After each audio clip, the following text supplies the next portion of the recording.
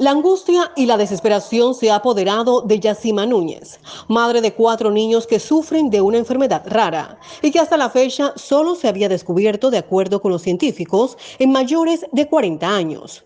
Núñez asegura que el padecimiento que presentan sus niños les fue detectado desde hace cinco años, cuando les fue diagnosticada a su hijo mayor de 15 años esta enfermedad, conocida como el síndrome del dolor en el Hospital de Especialidades Pediátricas. Porque ellos eran todos los días en el hospital con crisis de dolor severa, todos los días con desmayo. Eso era una recurrencia y con convulsiones a cada rato. Ellos toman levericitán.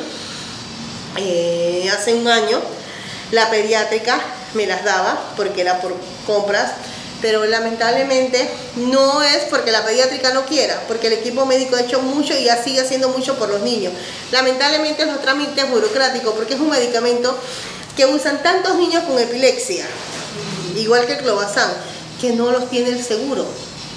El frasco de leviricetán vale 100 dólares con 20 centavos cada uno y cada niño utiliza tres frascos. Cuatro años más tarde, sus otros tres hijos también empezaron a tener los mismos síntomas del mayor. Dolores fuertes en los huesos, manchas en los glúteos y convulsiones. Al acudir nuevamente al pediatra, se le diagnosticó la enfermedad también al resto de los tres hijos de Núñez. Desde el 2015 y a pesar de sus carencias, Núñez no ha dejado de ser consciente con los medicamentos de sus niños. Yo no puedo llegar a Chiriquí porque lamentablemente Chiriquí no le brinda a mis hijos eh, un buen tratamiento médico porque lamentablemente no tiene las especialidades, no tiene nada, entonces sería volver a recaer en el abismo que yo estaba de llegar al hospital Ovaldía, niños con crisis de dolor ah, familiar, solamente el analgésico, pero seguíamos en el mismo rol y no hacíamos nada. Acá ellos están con su tratamiento, yo cualquier cosa me llamo a la doctora.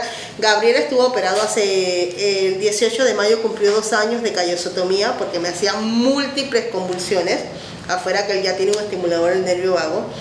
Después de la convulsión, él se ha seguido convulsionando, pero ya no es en, cantidades exorbitantes como lo hacía antes. Fuera de eso, eh, las pastillas de sal no se compran aquí. Yo las tengo que pedir afuera. Cada tarro me cuesta 34 dólares, puesto aquí en Panamá. Y le dura tres días, porque son seis pastillas por cada niño. Sin embargo, la inestabilidad emocional de esta mujer se ha intensificado aún más desde el año pasado, cuando la pediatra le notificó que era necesario realizarle un examen de secuenciación de genes a los cuatro varones en Estados Unidos, pero a un costo muy elevado. El examen es necesario de acuerdo con el informe que le brindó la pediatra a Núñez para poder conocer cuáles son los daños que los cuatro tienen a nivel genético y así poderles brindar un tratamiento acorde a su estado. De acuerdo con Núñez, el tratamiento que necesitan los niños cuesta 8.203 dólares. No obstante, este es un dinero con el que no cuenta Núñez y este es el principal motivo de su desesperación,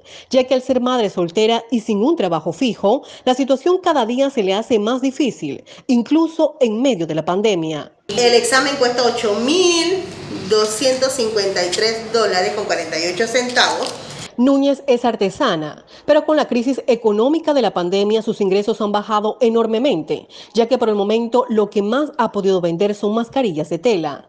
Con el dinero que recoge de esta confección no le alcanza para costear los medicamentos de los cuatro niños, que cuestan alrededor de 100 dólares. Y a la semana con la venta de las mascarillas su ingreso no llega ni siquiera a esta cifra. Son cuatro niños que hago la recalcación, que no nacieron con eso, porque muchas personas dicen, si ya tenías un hijo con problema, ¿por qué vinieron tres más?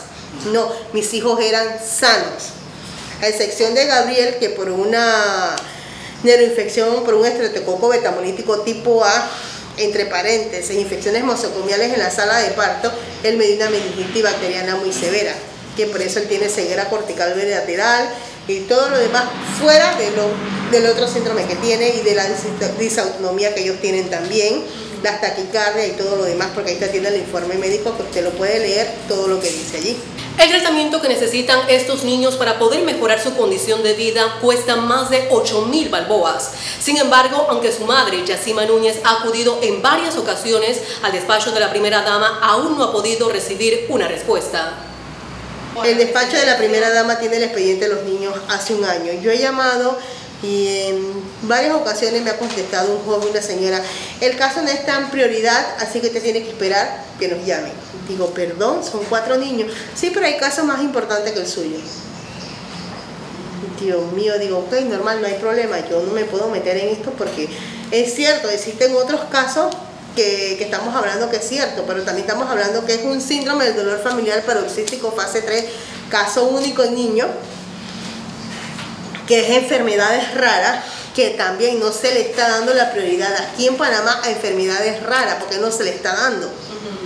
Hay muchas enfermedades raras que están en el anonimato porque no se le está dando la, la debida atención que se merezca, porque si un médico te dice esto y esto, te manda una serie de exámenes, pero cuando tú llegas a Clayton, ya hasta ahí murió todo porque nadie sabe por dónde va tabla. Tú vas y preguntas algo y se tira la bola de aquí para allá, de allá para acá, y eso es subir y bajar escalera ya una vez es tedioso, uno se cansa y uno dice ya para qué esto. Sin embargo, los días pasan y el llanto, el dolor y el sufrimiento de esa madre de familia persiste al no contar con un apoyo del gobierno y tener la esperanza de que sus hijos puedan mejorar, luego de realizárseles ese examen costoso. Por parte del padre de los menores, Núñez asegura no contar con un apoyo económico, ya que aunque este es mecánico y cuenta con su propio taller en la provincia de Chiriquí, no les envía dinero. Hace algunos años solo les brindaba una pensión pero dejó de enviarles el dinero, aseguró Núñez. Esa madre de familia no pierde las esperanzas de que sus hijos puedan mejorar y lucha día tras día para sacarlos adelante.